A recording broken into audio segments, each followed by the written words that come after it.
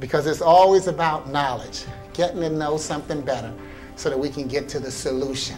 Enough people focus on the problem. We want to focus on the solution. That's what we did with, this, with the Stop Bullying Project. We're focusing on solutions, not problems. We know what the problems are. The media tells us the problems all the time.